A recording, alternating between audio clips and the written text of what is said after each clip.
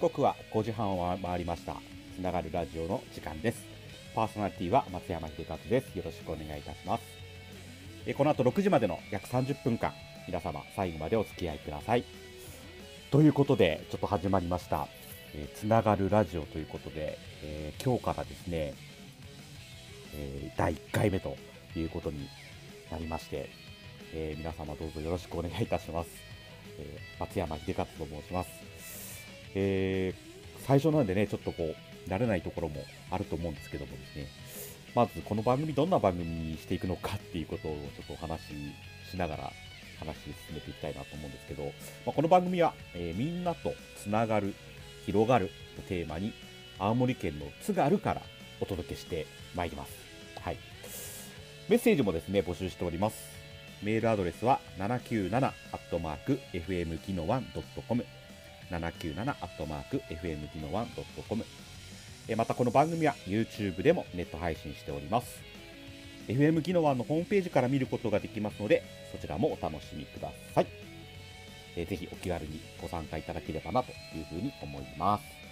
あと YouTube のね、チャンネル登録もぜひお願いします。え、サイマル放送もですね、行っております。え、スマホで、スマホで聞く場合ですね、えー、アプリ、リスラジか、マイチューナーラジオをダウンロードしていただいたらいつでもこのラジオを楽しむことができますので、皆様のご視聴しやすい環境に合わせて番組に参加してください。ということで、はい。えー、それではですね、まだちょっと緊張感たっぷりではありますけども、えー、まずはちょっと始めていきたいなと思います。どうぞよろしくお願いいたします。えー、この番組は、青森県弘前市で創業46年、弘前アルミ証券の提供でお送りいたします。ガラスが割れてしまった内窓をつけたい、玄関ドアをリフォームしたい、カーポートを設置したい、家の中に手すりをつけたい、などお家のお困りごとは何でもお任せください。この道一筋の職人が皆様のお悩みに寄り添います。今なら窓のリノベーションが補助金を使ってできる可能性があります。詳しくは弘前アルミ証券のホームページ、または Facebook ページからお問い合わせくださ。い、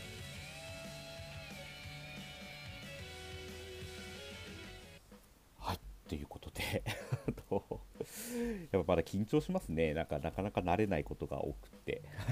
あの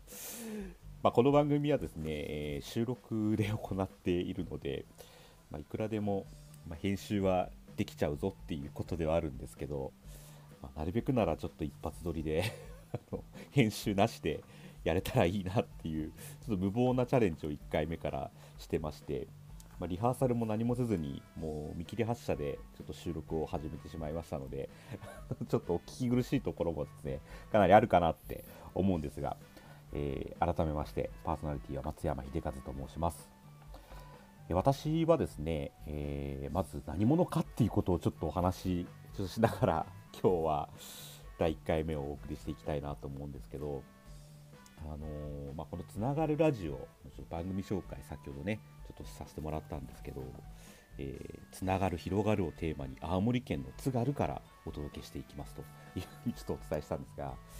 え私はあの青森県に今住んでおりまして、青森県の中でも弘前市というところに住んでおります。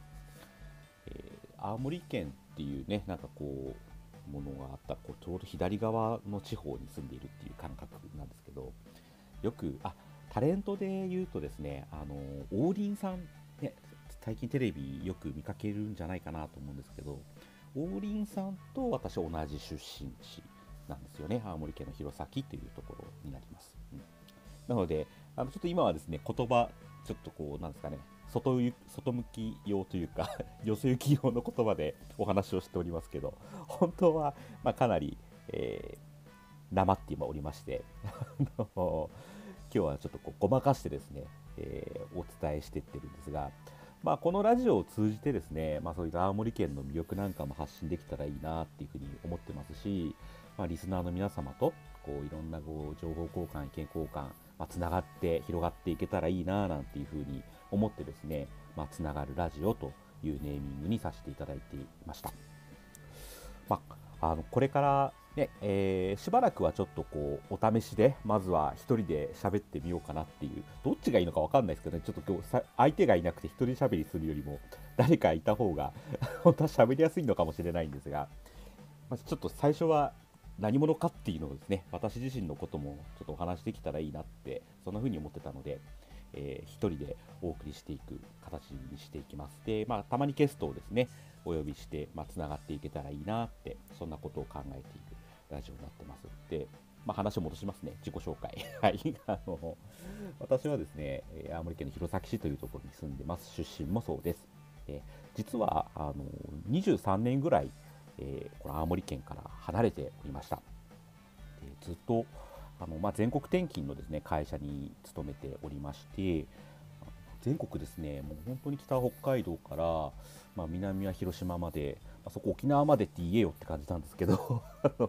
沖縄は残念ながらちょっと住んだことがなくてですね、広島までは住んだことがあるんですけど、まあ、それぐらい結構全国転々とするようなお仕事をしてました。うんなので、えー、ずっとですねあの青森県から離れて暮らしておりまして、え、去年ちょうどほんとちょうど1年ぐらい前なんですけど23年ぶりにこの地元の弘前に帰ってきたんですね、うん、で、えー、今のお仕事っていうのは、え何をやってるかというと、まあ、DX コーディネーターっていう風な名前になるんですけど何のこっちゃわからないですよね。あの要はデジタルとかねすごくこう今叫ばれてると思うんですがそういうデジタルをこうやりたいけどなかなかこう手を出しづらいなとかやり方わかんないぞっていう人に、えー、そういう方々と一緒にですねあのこうやったらうまくいくんじゃないでしょうかっていうことをこう伴走型支援をするとそんなお仕事をですね今させていただいている最中でございます。はい、でまあなんかこうデジタルデジタルして DX とかっていうとね、なんかすごくそれだけで嫌だっていう風になる人も、私も実はそうなんですけどね、あんまり好きな言葉ではないんですけど、もうちょっと柔らかい言葉でね、あの説明できた方がいいかなって思ってるので、まあ、仕事ではあんまりこう横文字を使わないように、あのなるべく置き換えてお話をする。えー、まあ、なかなかそういうことをですね、あのできやれる知ってる人が少ないっていうのもあるみたいで、なるべくこうデジタルを分かりやすくする人というふうにちょっとまず覚えていただければなというふうに思います。はい。あのー、まあ、今はそういうふうに青森県を中心に活動してるんですが、えー、まあ、どこでもですね、えー、そういったこうデジタルのお仕事っていうのは、まあ、できることなので、まあ、いろんな全国各地に広げていけたらいいななんていうふうにちょっとこう考えている最中でもあります。うん、であとはですね、まあ、自分のお仕事ではないんですけど、まあ、ちょっと手伝ってるぐらいの感じなんですけど、この番組ちょっと提供に、ね、なってる先ほど弘前アルミ証券っていう風な会社のご紹介もしたんですがこれうちの家業でございまして 一応父親がやってる会社になります。で、まあ、ガラス割れちゃったとかですね。あとは、えードアがうまく開かないとか、なんかそういうお家に関するお困りごとって結構あるんじゃないかなと思うんですけど、そういったことをこう解決していくために、まあ、あの私たちはいますみたいな会社になります。はい、なので、まあ、先ほどのね、ちょっとこう、コマーシャルで申し上げたようなことを事業としてやっていると。まあ、父親がやってるのをバックアップする、バックサポートする、そんな感じですかね。そんなこともやったりしてます。でなんか最初のねこうデジタルのお仕事してるっていう風に言ってるのでなんかさぞかし家業はデジタル化されてるんでしょうねってよく思われたりもするんですけど 実は全然そんなことなくってあの私去年のですね1月に帰ってきたんですけどその帰ってくるまで家にまず w i f i なかったんですよ w i f i 今多分どこの家庭でも Wi-Fi 飛んでるっていうかあるんじゃないかなと思うんですよね。で、なんか実家帰ってくるたびにですね、あのパソコンとかも全部だから Wi-Fi がないので、もう自分のね、その携帯でつないでやるっていうようなそういう生活だったんですよ。まあたまにしか帰ってこれなかったですけどね、前までは。で、やっぱそういう Wi-Fi もないっていう、そういうところで、あので帰ってきて、なんかね、いろいろ、まあそういう、ね、やっぱ家族が経営してる会社ですから、いろいろ話を聞いたりするわけなんですよ。で、なんかもっと、あのこう、みんなに知ってもらうためにはどうしたらいいかなみたいな話をしてる時に、まあ、最近だとやっぱりホームページや、ね、もう当然のように持ってるし SNS、ね、やってたりもする方、まあ、ごくごく当たり前になったなっていうふうに思うんですけどうちはホームページもね w i f i ないですから当然なかったと。ねなんかそんなそんなですね。いやいい意味でなんですかレトロなあの事業所だったんですよ でちょっとこう、まあ、でもさすがにね、ちょっとホームページないのはまずいよなーって、ちょっと心の中では思ってて、じゃあどうやってお客さんに今宣伝してんのって聞いてみたら、あのタウンページに載せてるよって言うんですよね。タウンページって皆さん分かります？あの黄色いね、あの昔電話帳です、いわゆる。昔はそういうホームページとかじゃない時代は、なんかお困りごとあったらね、そういう業種ごとに収録されてる電話帳、タウンページっていうのがあって、まあ、そこを見て、なんかこう電話したりですね、あの業者さん探したりっていうことをやってたんですけど、今なかなかそういう人っていないんじゃないかな と思うんですよね。で、それに広告確かに載せることできるんです、タウンページってね。あのちょっと大きくしたりとか、文字を太くしたりとか、そういうのできるんですけど、そういうのがやってるから大丈夫だと。広告してるというふうにまあ、うちの親は言ってくれたんですよね。うん、であよしこれで僕はホームページを作ろうっていうふうな決心がついたわけですよ。あの まあ、それがタウンページがね悪いとかそういうことじゃないんですけどでもホームページがやっぱあった方がもっと広がるんじゃないかなっていうふうに思って、まあ、まあ、あんまりそういうホームページとか実は作ったことなかったんですけど、まあ、見よう見まねで今って便利な時代ですよね。本当にもう便利な時代でまあ、Google でね検索をするともうすぐに出てくるもうあっという間にこう答えが見つかるもうそういう時代になったじゃないですか。うん、でホームページも、まあ、一昔前というか、まあ、今もそうですか今もそうですけどあの普通にねあのホームページの業者さんにお願いするとやっぱり何十万とかってかかったりすることもあるんですよね。うん、でそれはそれでちゃんとしたホームページを作るっていうことは非常に大事なことなのであの費用がそう高いとか低いとかいうつもりは全然私もないんですけどでもやっぱりなかなかねちょっとこう持ち出しとしては、えー、安い金額ではなかなかなかったりするのでじゃあどうしようかなと思っていろいろ調べたら、まあ、無料で作れるホームページっていうのもね今この世の中にはあるんですよね。なんかそういうのもね。私も初めて調べて知ったんですけど、うん、で、まあ、ちょっと、まあ、小さい町だし、まあ、本当はお金かけてね、作ったらいいんですけど、まずはちょっと手作りで反応見たいなというふうに思ったんで、まあ、無料のやつでもちょっといいかということでですね、まあ、無料のやつでホームページを作りまして、うん、でやっぱり無料だとね、なかなかそういう Google で検索したときに、あの上の方にね検索上がってこなかったりもするっていうデメリットも当然あるんですよ。無料だからこそのデメリットも当然あるんですけど、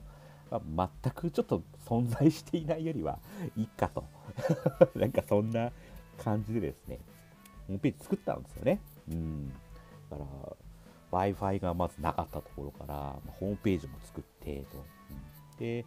あとその次にですねなんかやったこととしては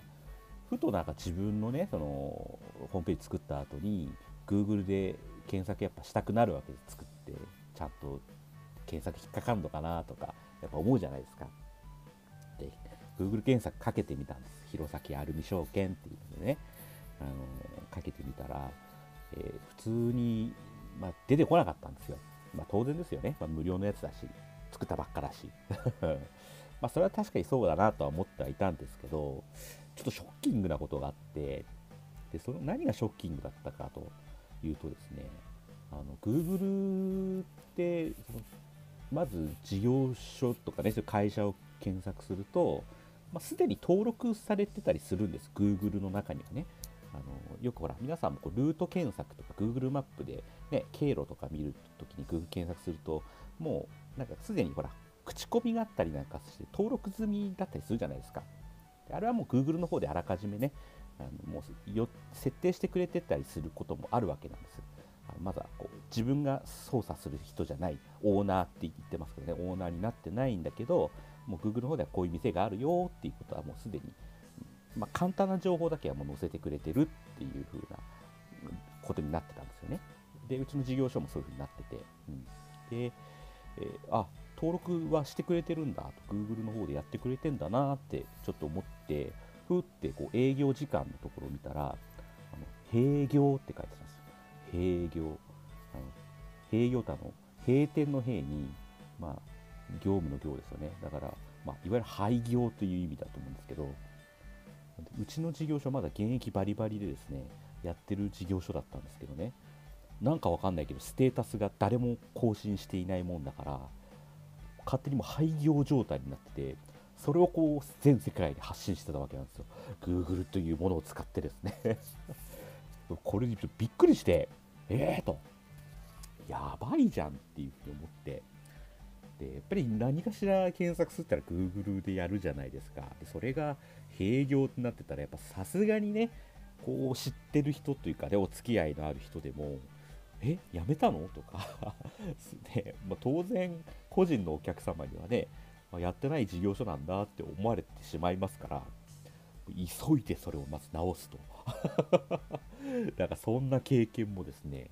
させてもらったんですよね、うん。まあ、今思うとすごくありがたいというか今までそういうことやったことなかったんですよね、うん。あのだからそういうデジタルの仕事今してますけどあんまりこうデジタルデジタルじゃなかった人なので、うん、なのでそういうことを経験していくことができたのは一つ良かったなと今では思ってます。ホームページ作ってで Google にねそういうまず登録をするみたいな作業になるんですけど。でそれもタダでできるわけですよ。今のところ無料どっちも無料でやってますからね私。だからそういうなんかデジタルってねやっぱ私もわからないけれどもまあ、Google で検索すれば、まあ、分かってくることもあったりとか、まあ、分かって理解できることもあるんだなというふうに思ってですね、うん、なんかそういうデジタルを分かりやすくこうできないかななんてことをちょっとこう考え始めていた時に、まあ、たまたまそういうデジタルをこうね、えー、分かりやすく伴走型支援する DX コーディネーターって仕事をちょっとやりませんか？ということで、えーと青森県青森県からですね言ってくださってですね、ありがたいことですね、本当に。青森県、いや、それもまたびっくりして、いきなり知らない番号から携帯にかかってきて、で、あの出るわけですよ。あんまり僕出ないんですけど、知らない番号って怖いから。で、大概営業だったりするし、今まで取ってあんまいい試しがなかったんで、うん、でもなんかちょっとわかんないけど、その時、ふと取っちゃったんですよね。あのまあ、知らない番号だったけど。でそれパッと出たら「あの松山さんですか?」と「ああそうです」と「あもう知ってんだ」みたいな。まずそれがちょっと恐怖心ですよね。こっちまで名乗ってないから。だって誰だ誰かわかんない。向こうも名乗れよみたいな 感じなんですけど。松山さんですよねと「あそうです」青森県庁です」って言うんですよ。青森県庁です？みたいな。もうその段階でちょっと怖いじゃないですか。ね。青森県庁から電話かかってくることあんの？みたいな。で、僕はもうその中で100%詐欺だみたいな 感じでちょっと思ってたんですけど、でもなんかよくよく話を聞いていくと、なんかどうも本物っぽいなってちょっと思って、うん、で、まあ、なんかこう話お会いした話をするみたいな流れになってですね、で、今の仕事 DX コーディネーターになってるんですけど、うん。なんかね、こう、面白いなと思いましたね。なんかこう、まずきっかけは実家に Wi-Fi が飛んでなかったっていうところから、始まってますからね、Wi-Fi 飛んでたら今の仕事につながってなかったかもしれないんでね、あの、ありがたいなというふうに ちょっと思いますけどね。うん。あの、で今はそういうふうに、えー、家業のですね、そういった、まあ、デジタル部門って言ったら変ですけど、えー、そういうデジタルの、なんか補助金の申請やったりですね、なんかそういうのも今はやっぱりパソコンがないとなかなかできないかったりもするんですよね。もう全部そういう世の中になってしまってまして。うんでうちのちょっとの事業所の人、ね、従業員さんとか、なかなかそういうの得意ではなかったりもするんで、えじゃあ私の方でそれは巻き取りましょうということで、えー、巻き取ってますということなんですよ。うん、なのでね、まあ、うちの事業所は、あの実は、ね、うちの父親、社長をやってますけど、あの父親、今いくつだと思いますか、ね、初めての第1回目の放送で、初めて聞く人から初めての質問されるのが「うちの父親何歳ですか?」って言われるのなんじゃそれだと思うんですけど すいません本当にあのうちの父親ですね、えーと、84歳でして で現役でちょっとまだですねバリバリ社長やってるんですよでなんかこうねまあ、このラジオにさすがに登場してもらうのはなかなかちょっと恥ずかしさもあるのであれですけど結構あれですよ。あの世の84歳よりもね若々しく見えると思います。もう全然腰も曲がってなければシャキッとしてますしもうガンガンあのバリバリ仕事してる 84歳でだかこうずっとねもう創業して言ってた46年になるんですが、えー、ずっと父はそういう建築の、まあ、業種としては建築建材卸業っていう形になるんですけど、まあ、大工さんがね、えー、家を建てるときに、まあ、玄関ドアとかそういう、ね、あの窓ガラスとかそういう玄関のあ家の部品か。家の部品をね、えー、収める。あのそういう発注いただいたものをこう納品する。そういうふうな、まあ、建築資材の卸業者。で、まあ、それに加えてまあ、アフターケアですよね。あの割れちゃったガラス割れちゃったりとか締まりが悪くなっちゃったとか壊れちゃったとかそういうことに対してもやってると、で、まあ、今はアフターケアの方がちょっとメインになってますけれどもあの84歳もですね現役で、えー、現場走り回ってですねやってるのでちょっと僕も何かこうお手伝いできることはっていうことで今そういう部分もですねちょっとこう担っていると。そんな感じになってるんですよ、うん、でまあ最初はねそういう、まあ、家業もね、まあ、まさにそのデジタルにちょっとこう億劫になってる人をどうやったら仕事楽になるかなとか業務効率化できるかなっていうのが、まあ、今のこの DX コーディネーターの仕事の一つなので、まあ、まさに自分の家業でですねあの最初にいろんなことが、実験できたというようなことは僕にとってやっぱりもうありがたかったことで、うん、あのやっぱ w i f i が飛んでなかったよかったってここでもそこでも思ったんですよね w i f i いやでもまだ青森県ってねあの当然 w i f i 飛んでないところもあると思いますしさすがに w i f i パソコンはあるけどやっぱりどういうふうにねこうデジタルにしていったらいいかっていうのがなかなかわからないと、うん、そういう方もまだまだ多いんですよ。でそういうなんかこう会社さんに向けてね今はそういうコーディネーターって仕事でやらせていただいてますけど家の中にねいても実際は何ていうんですかねそういうデジタルやっぱ分かんないってことを当然84歳の父親と同年代の母親がいますものでそうするとですねあの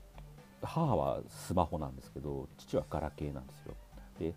母特に母はスマホなので結構いろんなメッセージね、なんかあの、いろいろ来たりするじゃないですか。自分が登録してないんだけど、セキュリティがどうだらとか、ね、バージョンアップがどうだらとか、なんかそういう、ね、向こうとした親切心なんだけど、スマホ側からすると親切心でお知らせしてることが、母親からするととにかくストレスなわけですよ。なんか出たみたいな。なんかメッセージまた出てるけど、何なのこれっていう、そういうのがすごくこう嫌なんですって、やっぱりね。うん壊れちゃったんじゃないかって思うんですって。うん、でやっぱ慣れてる人からするとねいやそれはもう無視していいんだとかそんな削除して捨てちゃえばいいじゃんって終わりなんですけど分かんないっていうことがやっぱりねすごくこう衝撃になっちゃったりとかストレスになっちゃったりするんですよ。うんなのですごいこう実家帰ってきてからですねまたなんかこれスマホ出たけど何なのこれっていうのもうすごい聞かれてなんかふと思ってたんですよね。そのいや、これってなんかうちだけじゃないんじゃないかなと。あの、すごい困ってるね。なんか困ってるけど、聞けない？聞きたいけど、聞くほどのことでもなないかって思ってる人もいるんじゃないかなってちょっとこう私はちょっと思ってですねあまりにもやっぱ母がいろんな質問を毎日してくるもんだから ほんとちっちゃいことなんですけどねうんそういう、なんかそういうのでこうストレス抱えてるのっていうのもなんかもったいないっていうかですね、うん、なんかすぐ解決できることなので、なんかそういうラフなやつ、ラフにこう解決できるデジタルのこうよろず屋さんみたいな、まあなんか困ったら、あのとりあえず聞いてくださいと、まあ、Wi-Fi つなぎたいでもいいし、Zoom のやり方を教えてくれでもいいし、なんか携帯変なことになったでもいいしあの写真のフォルダいっぱいになっちゃったとかでもいいしなんかでもそれで困ってるねあの人っていうのもまだまだいるなっていうのがちょっとやっぱ思ってることで、うん、